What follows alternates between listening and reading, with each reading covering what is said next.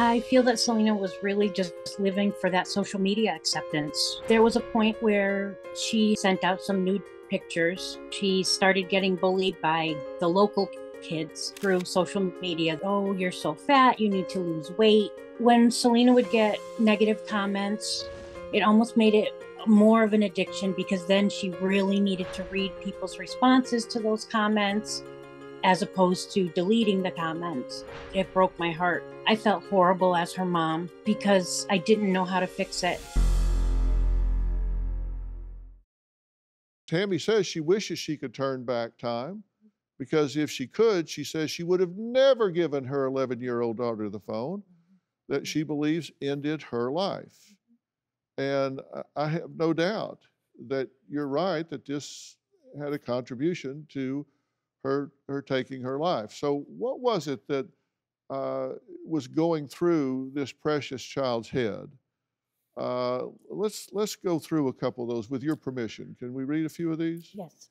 And I, I know this is not easy for you, And but I you're here because these actually. are you okay to hear them? Yes. Mhm. Because I look, I don't want to traumatize you further. Okay, because people need to hear it. People Okay. need to know what's Well, going on. Well, May 1st, 2021, this is a short time before she took her own life, 6:10 p.m. I am crying. I want to die. I feel everyone hates me. I fight myself every day. No to KMS because I remember some people love me. And that's no to kill myself. Oh, I self harm. I know I sound dramatic and dumb, but my depression is so bad and I am just not okay inside.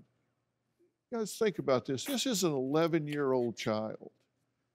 Then May 16th, 2021, 8:10 p.m. Everything I get bullied, I get told to kill myself. I get told to cut myself. I get told that nobody loves me, that I'm a waste of and a mistake.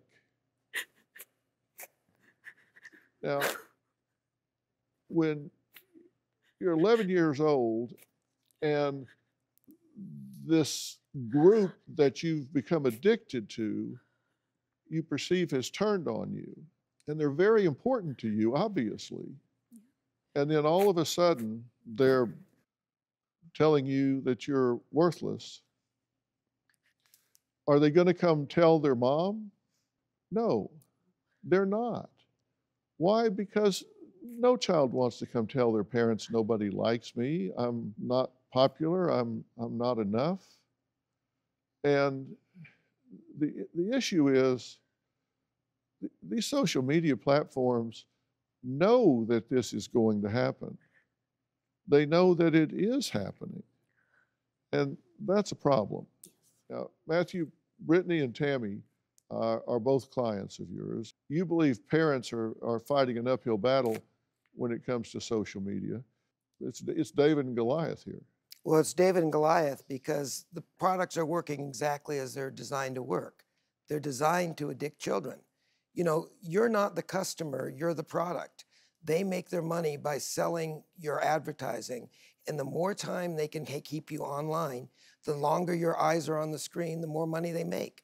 So everything that happened uh, to Selena and everything that happened to Brittney's daughter was the product working as it was supposed to be working. And unless they're held accountable, they're not going to change their behavior because they make too much money doing it.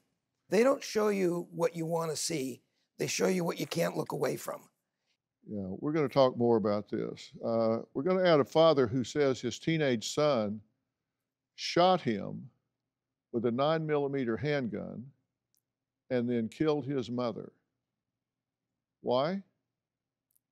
Because they took away the violent video game he was addicted to. We're going to meet the father after the break. Do you have a story or a question for me? Click the link in the description and tell me what in the world is going on.